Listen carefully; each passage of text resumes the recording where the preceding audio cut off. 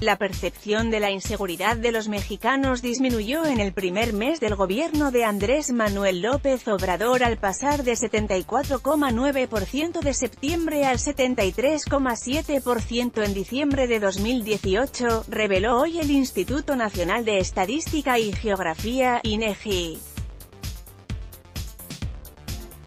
De acuerdo con los resultados del vigésimo segundo levantamiento de la Encuesta Nacional de Seguridad Pública Urbana, en su, el 73,7% de la población de 18 años y más percibe que vivir en su ciudad es inseguro, una bajada del 1,2 puntos porcentuales con respecto al periodo anterior.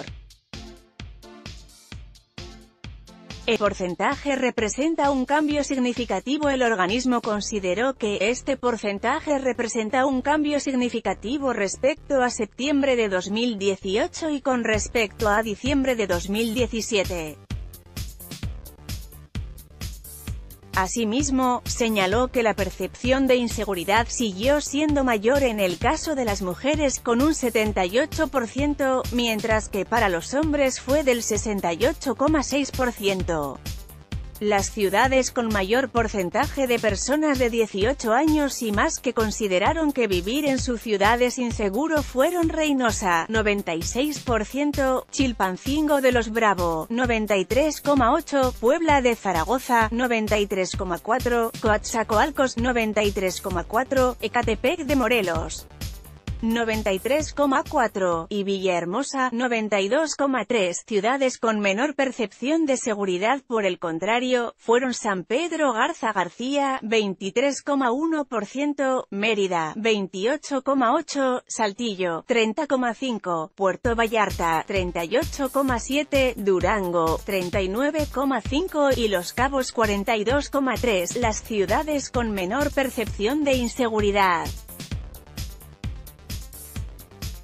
Cabe destacar que un 83,4% de la población siente inseguridad en los cajeros automáticos ubicados en la vía pública.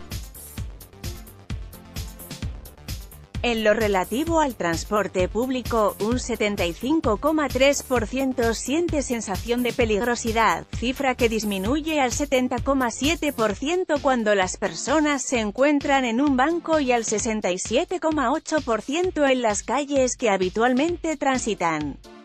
La percepción de inseguridad en Estado de México y CDMX a nivel nacional, en el 35,8% de los hogares de áreas urbanas, al menos uno de sus miembros fue víctima de los delitos de robo y, o extorsión.